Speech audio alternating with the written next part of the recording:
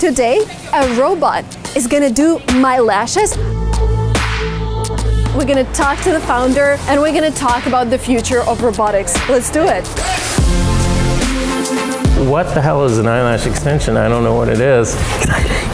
How much does it cost to have a robot like that? It's looking to isolate a natural lash. A lot easier to save the world when you have $100 million in your pocket, right? Already looks so pretty. Leave that to the machine. What is the future gonna be? Robots are replacing us.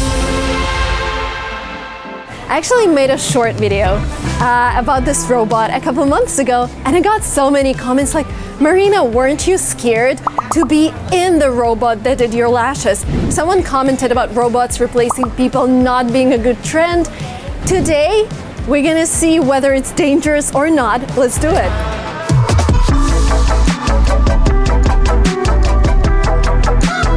The TV's on this side where I kind of run it, and then we also have our lash TV here, so Uh-huh. you guys can kind of see everything that's going on. Are you excited? So how did your lashes stay on for you last time? Uh, my last lash fell off yesterday. Oh my so, gosh, that's so it's amazing. been a couple months, right? Okay, it's cool. yeah. And I haven't been using my mascara for probably the first five weeks, and then I started using it. How did you feel about them? Did you like the length? Were they comfortable? They were perfect. Okay, this is before the robot. Nothing on my lashes. The last time I almost fell asleep. Let's see what's gonna happen this time. Does that feel comfortable? Yep. Oh my god.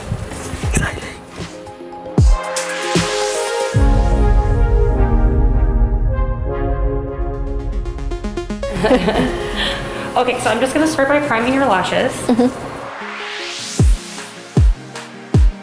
The LUUM safety system is really a really neat trick and and really make sure that it's completely safe, even safer than human application of eyelash extensions. The cool thing about them is they're mounted with little magnets, so if you were to hit them, they just fall right off. So even if you were to just suddenly sneeze and thrust your head towards the tools during a session, they would just fall off. We'd pick them up, put clean ones on, and then keep going. Can we Okay. talk about your background? Talk about your life before this robot and how you decided to make it.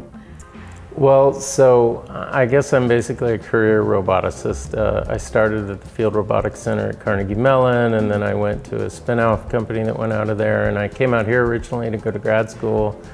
And then I, I built an automation team at a local company, and then um, started a company called Ekso Bionics that uh, a NASDAQ listed company that makes human exoskeletons. And those are like wearable robotic legs that you strap on after you've had a spinal cord injury or a stroke. Oh wow. So you can get up and walking.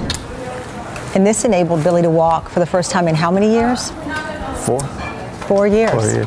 How do you feel? Physically, it, it feels real good. I could look at people in the eye, I could talk to you. That was amazing experience. I mean, people literally cried at our demos Yeah. all the time. It was actually kind of weird if no one cried in the demo.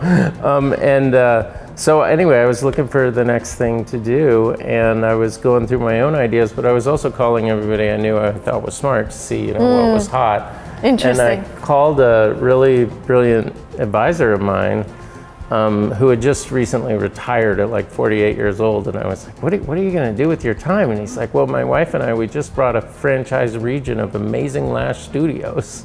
And I was like, what? Like, and he starts telling me all about it. And I'm like, wait a minute, wait a minute. I don't even know what the hell is an eyelash extension. I don't know what it is. And he told me about these people putting one little lash on at a time.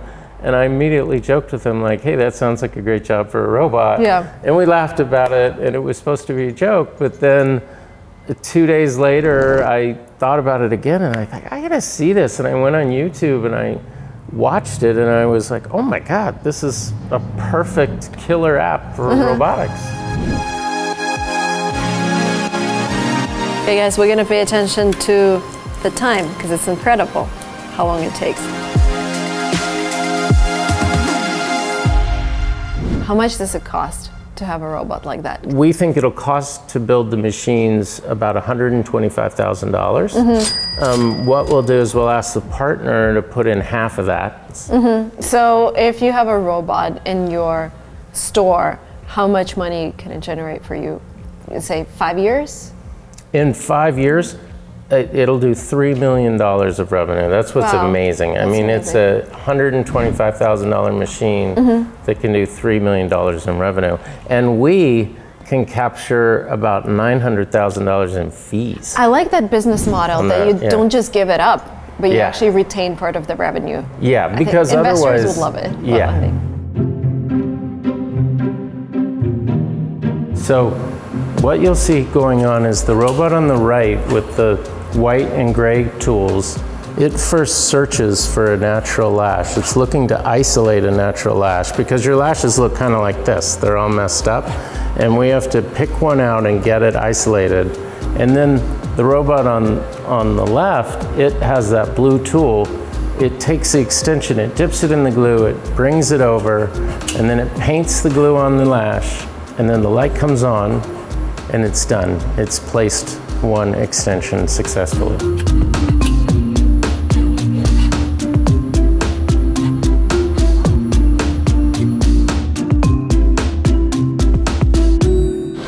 How are you doing? Oh, sorry, I woke you up. Um, we're gonna go ahead and switch eyes, okay? I'm just gonna rotate your head to the right.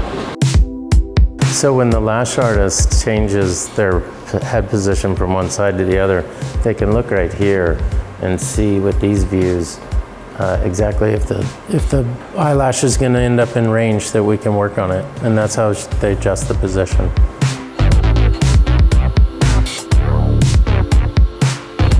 Each robot has a pair of cameras. The reason it has a pair of cameras is just the same reason you do. It's to be able to judge depth, how far away something is. Your brain does by comparing the images of your two different eyes. And that's what a robot does as well. So in the future, the machine won't be so big and tall, and it'll actually uh, have a much more beautiful, elegant design, so it won't look so medical. But did you ever have thoughts that with your previous startup, you basically changed lives? Yeah. And this is this is cool, but this is a touch up. Have you ever thought that this is not big of enough problem for you? Um, No, I, you know, I, I think that we're going to make millions and millions of women smile, and that's going to be a wonderful thing as well. Um, and also, you know, it's uh, probably a lot easier to save the world when you have $100 million in your pocket, right? So do you do you see the potential of this company? Do you see bigger, uh, getting bigger than the previous one oh, in yeah. terms of market size? yeah, oh, for sure. Yeah. This is a huge market that's growing like crazy. How much of that market would actually you think would transition to automate automated lash extensions? Well, it should be a, a big share because right now the experience just isn't really that good. I mean, it's um, it's really slow. Takes a long time. Mm-hmm. Yeah, it takes two hours, set right? appointment is Yeah. usually two hours. Um, and it, uh, you know, they have to rest their hands on your head to get enough uh, um, stability to Mm-hmm. do it. Because that's and that's why it's perfect for robotics too. Is Yeah. it's right on the edge of what a human can physically do. Some- Exactly, Some, people yeah. just can't ever Yep. do it, and and so it's just there's a lot of ways we can improve this process with Mm-hmm. robotics. But they still need a person to supervise, right? That's right, And we're that has to be a specialist? Uh, uh, right now, it has to be a lash artist. Eventually, I think that'll go away in a few years. But right now, they're lash artists like you would have in a in a lash studio right now. And the reason why is not only can they consult you about what what you want to get, but they can also do a little touch up afterwards, and uh, which is wonderful to have as a roboticist because you don't want to get caught in a robotics startup that's trying to replace 100% of what a human does because Are, that's are you getting that difficult. criticism? Or like trying to replace humans? Because I posted the short video Uh-huh. and most of the comments were like, what is the future gonna be? Robots are replacing us. you know, everyone is worried. I know, and you know, we try to we try to explain to them. For one thing, there's a gigantic labor shortage in this field Mm-hmm. of eyelash extensions Mm. right now.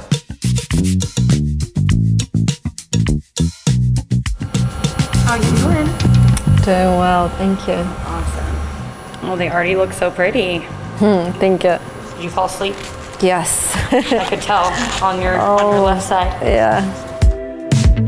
Our business that's unique is we're using robotics, but we don't want to replace lash artists. What we want to do is make it to where lash artists can do three times the appointments in the day, and they don't have to do the arduous part of it. They can just concentrate on the artistry of deciding what you want and getting you the right look that's perfect for you.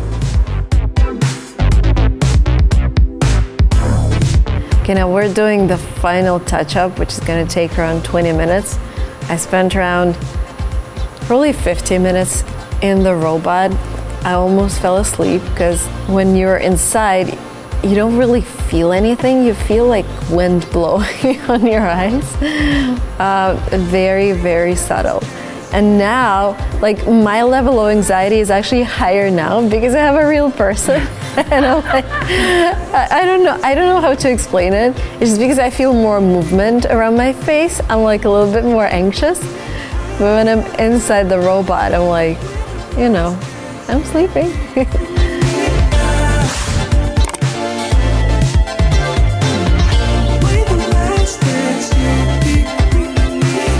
this is after. Let's talk about the future in general. As a roboticist, are you, what do you see us doing in 10 years? What, what robots are going to do? How are they going to replace us? Um, you know, I think you'll see it more and more, and um, you know, you'll see. And I think in beauty, you're going to see it because the cat's out of the bag now. I mean, uh, people have started working on nails. They've started working on eyelash Yeah, we did. Remember, we did the nail robot. Um, we've been uh, applying for IP and various um, beauty things. So I think you'll see personal services really get a lot of robotics um, involved in them, and it'll really help the. It'll transform the business. I, th- I mean, I think robotics can make the experience better for the client. Mm-hmm. It can make the experience better and the working conditions better for the people who are working with the machines, the, mm-hmm. the providers. Mm-hmm. And then also for the investment community, of course, it's going to transform services from something that seems like a low margin business to them now to something that's very different. Yeah. And what is like, if I ask you, what is the dream robot that you want to build to help humans? What Oh, dream robot build to help humans. Well, you know, I worked on that a lot at Ekso Bionics, and uh, we really, um, I, and I think the dream of human exoskeleton makers is still a really mm-hmm. powerful dream, and that's to be able to get so good at it that when you're very old, mm-hmm. you could strap on this suit and it could help you walk around, you know, Yeah. and you wouldn't need a walker. That's incredible. Anything like that, yeah. I'd really love to see that happen. Mm-hmm. We're currently crowdfunding on invest.luumlash.com, and so anybody can go there and sign up. Uh, Mm-hmm. And then this could and- be a first angel investment. This is Yeah. not a recommendation or whatever, but I'm an investor. This is my first first robotics investment, and I think out of like because I invest in creator economy, finance, and this is my first ro- robotics investment. I think this is the most exciting thing ever.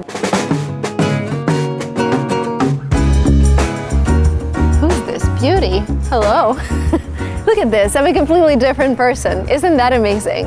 And it just fascinates me how much progress there is with robotics in the past couple years because we've done so much automation using code, but I think our lives haven't been transformed with hardware that much. And suddenly, in the past few months, this started happening. A robot did my manicure, a robot did my lashes. I'm driving a car that drives by itself. I'm actually positive about the future where I wake up in the morning and there is a robot in my kitchen and I program it to uh, make scrambled eggs for me and it orders food by itself. So I don't have to worry about basic things and can focus on my superpower, which is content creation. And of course, you can argue with me that content creators will also be replaced. And there are actually algorithms that can capture your speech, analyze your speech, your accent, your jokes, your mistakes that you're making, and replicate you online. And uh, yeah, well, we'll have to adapt. But again, I'm excited about the future where robots are going to take away some things that I'm not excited about. But in general, I'm excited about the future where I don't have to do things that I don't really enjoy doing. Thank you guys so much for watching this video to the very end. Thank you so much for subscribing to Silicon Valley Girl and for following my content. I will see you very soon in my next, hopefully exciting videos. Bye.